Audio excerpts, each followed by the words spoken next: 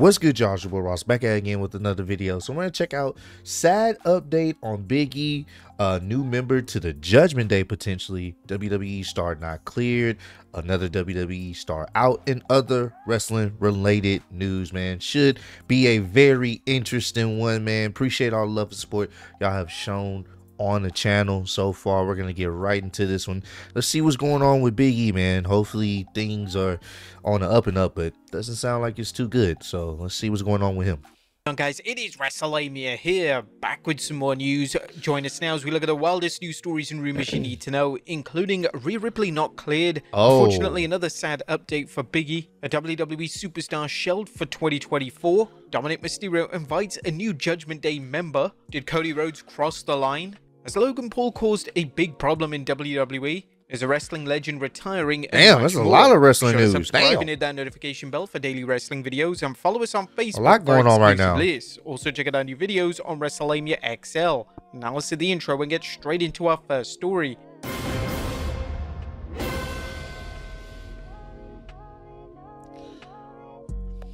Our first story looks at Rhea Ripley not cleared. On top of today's news is a report that the Judgment Day's Rhea Ripley won't be able to compete until SummerSlam. A new story from PW Insiders I mean, we kind of expected that one, so states that the Eradicator hasn't been cleared for physicality, but is expected to be in time to battle Liv Morgan at SummerSlam. Aria returned on this week's Raw, but has limited herself to just promos. Do you think she will be ready to wrestle by SummerSlam? Let us know in the comments down below. I think they kind of have a timetable. That's why they, you know, Rhea came out there on Monday night and said, "Hey, let's have a match for the women's uh, world heavyweight championship at SummerSlam." So I think the timetable is most likely SummerSlam. They're obviously going to play it safe, and she shouldn't be really doing anything physical with Liv. You know, Liv is the the scared heel. So she shouldn't be doing anything physically with her until we get to the match because you want to build up that anticipation for when she finally gets her hands on Liv. So I think we kind of all expected that one, but uh hopefully, you know, everything's on track when it comes to her returning into the ring at SummerSlam. Next up, a sad update for Biggie. Now, it's hard to believe, but it's just been over two years since WWE superstar Crazy Biggie suffered a how time is catastrophic injury after he was dropped right on his head, injuring his neck. Biggie not only survived an accident that could have ended his life, but he emerged without being paralyzed. Yeah. Something that is nothing short of a miracle. However, Facts. the WWE Universe is still anxious to know whether the New Day Strongman will ever wrestle again. During an appearance on Chris Vanini's Getting Over podcast, Biggie revealed, Now we're at two years and running since I broke my neck. I broke my C1 in two places, my C6 as well. I feel great. I have no issues with pain, no issues with discomfort, weakness, or any of those things. My Okay. strength is great. The only issue is my C1 is healing fibrously, which is great for normal day-to-day life, but it's not turning into new bone or ossifying yet. They're not going to clear me Oh. until that happens. It's obviously a very important bone. Right now, that is the waiting game. I did go to Cancun about a month ago for stem cells. We'll see if that changes anything. Right now, I feel great. I'm just not in a position to be cleared quite yet. Oh, Whether Biggie ever returns to the ring remains to be seen. Nonetheless, he remains one of WWE's most beloved figures, and the WWE has capitalized on his popularity by using him in non-wrestling capacities, such as co-hosting WWE's pre-shows for its PLEs. Next up, a WWE Damn, man. That that definitely does suck. But the the good thing about this is he's able to move and have a normal day to day life and with no pain. That's what you care about. That's what I care about the most. I know there's some people that want to see him back in the wrestling ring, and I'm one of them. But it's more so about his well-being him being able to have a comfortable normal life outside of wrestling um obviously that one particular bone i think they said the c1 or whatnot. It's having a tough time healing so you know hopefully he, it's able to heal on its own and there's no rush to be honest with you because anything dealing with the neck you got to take it very seriously very cautiously. A lot of the moves they do can end up landing, you know, a person can end up landing on their neck and it could cause some severe injury. So, um, praying for Big E still on, you know, just him recovering at his pace. And, you know, um, I'm glad that he's able to still do the things he loved to do in his day to day life without really being in pain. That's the most important thing. WWE superstar shelved for 2024. As bad news for fans of Tyler Bate. Oh, damn. Republic team with Pete Dunne, as Fightful Select is reporting that Bate is not expected to return this year. Oh, According to shit. Ringside News, Tyler Bate recently revealed that he tore his left pectoral major Oh. and tendon off the bone during a match Oh, alongside his partner Pete Dunne at NXT. Bate provided an update following an injury sustained during the July 2nd episode of Damn. NXT. He shared that he successfully undergone surgery to repair Oh, the yeah, that's injury. Bate's absence explains why the WWE decided to put Dunne into a program against Yeah, former Brawling now it makes teammate sense. Sheamus. Hopefully, this program will give Dunne a chance to rise in the singles ranks while Bate recovers. We're sending our best to Tyler Bate for a fast and full recovery. Yeah, hopefully that can, you know, I, I think that's where they're going with. I think Sheamus won't have a problem for putting over uh, Pete Dunne here. I think Sheamus has been really, if you want to be honest, he's been doing a good job of putting over some of the the the newer talent on the roster, giving them some good matches and and really, you know, getting people behind them in the sense of taking them seriously. Pete Dunne definitely needs that, and you know, I didn't even know his uh, uh tag team partner Tyler Bate was legitimately hurt like that. So yeah, it makes sense he's gonna be out for the rest of the year. But it seems like they're doing something with Pete Dunne, and I'm very interested to see how that plays out. Next up, Dominik Mysterio invites a new Judgment Day member. Could a recently signed superstar become the latest member of the Judgment Day? Dominik Mysterio recently discussed the possibility of newcomer Stephanie Hmm. Vaquer joining the group during an interview with the website ESTO. It is something very excellent for us to have another Latina in WWE, especially having her is something that is going to catch the women's division on fire. Mm. Okay, joining the Judgment Day would be huge, especially if the WWE has a jump from NXT to Raw without spending too much time on the black and gold brand. Dominik Mysterio discussed what she would bring to the table. She's going to bring something different to the side of the US. I'm excited to see her. If she wants, she can have something with the Judgment Day. There are two Irish, two Puerto Ricans, and we hire someone else who comes from Mexico. Rhea Ripley is likely to leave the group soon, which mm-hmm. will create a vacancy. That is unless Liv Morgan joins in officially. Would you guys like to see Stephanie Vaquer in the Judgment Day? Do you think she would make a good addition? Let us know in the comments down below. It's not a bad idea, but I I think the story right now is obviously what they're doing with Liv and you know, I don't think this is just gonna be a one and done match with Rhea and Liv at SummerSlam. I think this is gonna really culminate even more.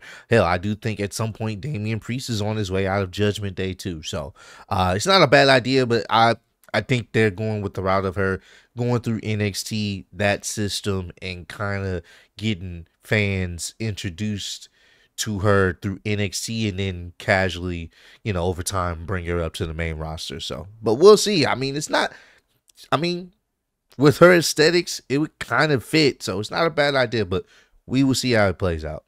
Next up, Cody Rhodes shoots on the Young Bucks. That was interesting. I think I did see about, well, hear Bucks about this books. on, Cody spoke with Chris Van not hear about it, but I think I did see this on Twitter, like what he had initially said about the Young Bucks. about how information in the book could lead to misunderstandings about his important role in how All Elite Wrestling came into being. According to Cody, I hated that in the Young Bucks book they said I was last to the signing, because that's a big thing. Some of the AEW defenders who don't realize that they're turning people off to their product more than they're turning people on. The current hmm. WWE Undisputed Champion explained that while he was the last to sign, he played a vital role behind the scenes during the Elite's discussion about the merits of AEW. That's one of the things that people always cite. Oh, he was last. He wasn't that big a deal to the origin. No, the guy who's here off camera was the first person to ever meet Tony, and he met him in a vetting process for all of us. Rhodes, who left AEW in 2022 to sign with the WWE, has never revealed the specifics behind his decision to leave the company. Naturally, this has led to speculation about whether there was any friction between him and his fellow executive vice presidents and or Tony Khan. While Cody has said he never plans to talk about it, his comments about how the Young Bucks framed his role in AEW will likely renew the conversation about the reasons why Rhodes left. Rhodes summed up his own take on things, so yeah, I guess I was the last, and yes, I had different thoughts, and it's not incorrect at all what they said. Yeah, it's not incorrect, but I was just in on it as well as anybody else. Oh. What do you guys think of Cody's comments and how they relate to his involvement in AEW's origins? Do you think the Bucks book could have caused confusion about Rhodes' role, or is the American Nightmare reading too much into things? Let us know in the comments down below. Next up, It depends because when you sit up there and say, "Oh yeah, he was the last one to sign," and it depends on the context of how it was said in the book, but someone could read into that like, "Oh, he was the last one to sign." You know, like Cody said, "Oh, it, you know, he wasn't really a big deal." Cody was the last one to sign. Like it's different when you say, "Oh, I was the first to sign." You know, I was the first to sign to, you know, get things going, and Cody was the last to sign. Like, you know, he was kind of, you could say maybe he was hesitant, wasn't sure, but it seems as if Cody's putting it out there like, yeah, I may have been the last to sign, but I definitely was an important part of how things went down and how things became to be. And I think that's what he more or less is probably trying to put out there, not to not for it to be like uh oh yeah Cody was the last son and that was it that's all his in real involvement was involved in the creation of AEW you know I, I, think he you know wanted to put his name out there like no I may have been the last to sign with the company but the talks the conversations I was one of the first people to have that conversation and get the ball rolling.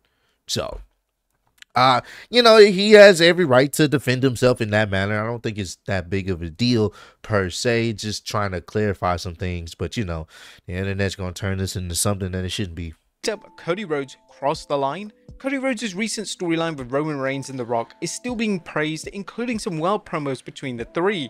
However, Cody claims he's unsure whether he crossed the line during one segment where he mocked The Rock. Cody told Chris Van Vliet, I feel maybe I crossed the line. I did a promo where I said he had LDS. I feel like a lot of people liked the interview and got a nice round of applause when I came back through the curtain, but it felt so off-brand for me because we have so many young kids that I Aww. felt like this one guy is the guy that I'm going to go to these lengths for, and maybe that's what made this all click. Cody's LDS comments fit in well with the insults thrown by The Rock, but still Cody commented, this genuine animosity and smile at each other, but probably deeply dislike one another. If he's the one who's going to bring it out, it's probably good TV, but I did feel a little, I guess, icky in the what? moment. Next up, as Logan. God damn it! Cody!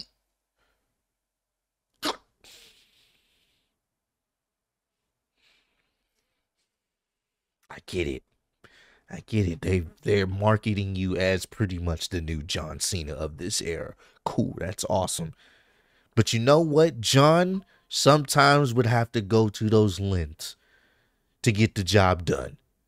Hell, we all remember what John did, damn near fucking burying The Rock on live television with the whole.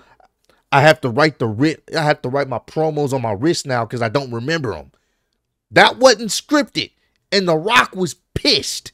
So I think he would be okay if you hit him with the little dick syndrome like jab like that.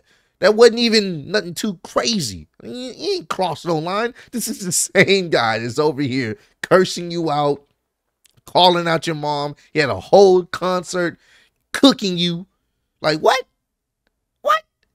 If anything, I think you went a little bit too light on the rock.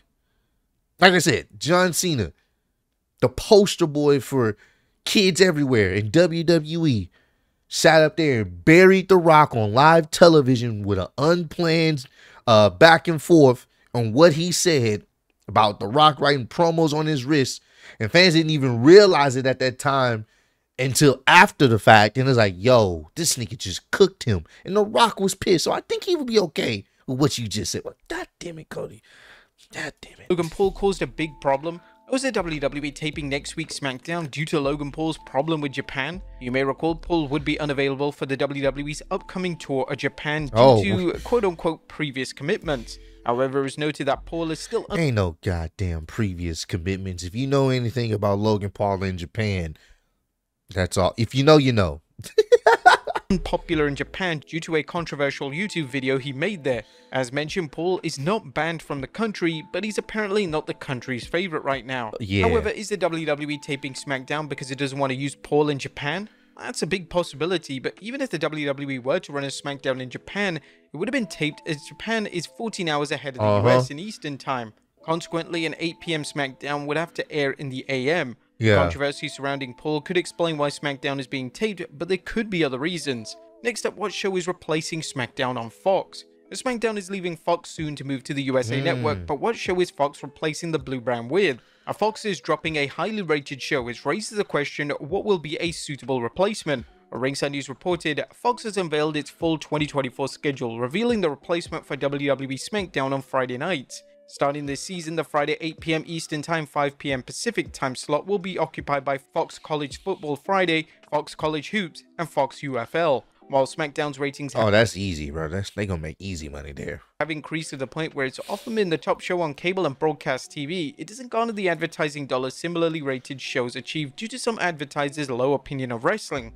It'll be interesting to see how the sports lineup fares as well as whether the programming diminishes SmackDown's ratings on USA Network. And finally, is a wrestling legend retiring? And last but not least, is Dustin Rhodes retiring hmm. from wrestling? There was confusion among fans whether the 55 year old wrestler plans on retiring when his AEW deal expires this September. But Rhodes updated fans on X wrong, geez, guys, do better. Yes, my contract is up in September, and no, I am absolutely not done. Having the best matches of my life, and hopefully, God willing, I will get to retire on my own terms, respected with a full heart. Hopefully, negotiations go well because I'm damn worth the world. The artist formerly known as Goldust explained his priorities. The only things that matter to me, taking care of my family first and foremost, and finishing up when I'm ready, and how I envision my retirement. So hold off guys, this biz is my life, and I love doing it for you while still having fun and able. Thank you all for your continued love and support. As some fans believe Dustin was hanging up mm. his boots when he discussed wanting to leave the grappling game while he could still walk. However, Rhodes apparently feels he's still in good shape and there's no telling what's next. And one thing is clear, Dustin's work in AEW has been outstanding and he hasn't lost a step yet. But there you have it, folks. The wildest news story. Very, very interesting. The question is, will he stay in AEW or will he go back to WWE? The story's there if he does go back. And it would be a nice addition um, to help out Cody, you know, with what he's going to be dealing with when The Rock comes back and, you know, the whole bloodline stuff, you know, that's still going to be going on potentially. So I don't know. What y'all think? Do you think he should stay in AEW, finish his career in AEW, or do you think he should go back to WWE? It's a different landscape now, and I do think they would probably treat him a whole lot better in WWE than they ever did in the past. And I think it would be something different, especially if he's just not doesn't come back as Goldust. No, no, no, no. All that's done. Just Dustin. Have the Rhodes brothers once again on WWE television in a more serious role like they've done with Cody. I think I would like that. I think that would be cool. But if he stays in AEW, that's also fine as well. Comment down below. Let me know, man. What are some other videos y'all want me to check out? Appreciate all love and support y'all have shown on the channel. Road to 150k. Appreciate y'all kicking it with me. See y'all next one. Peace.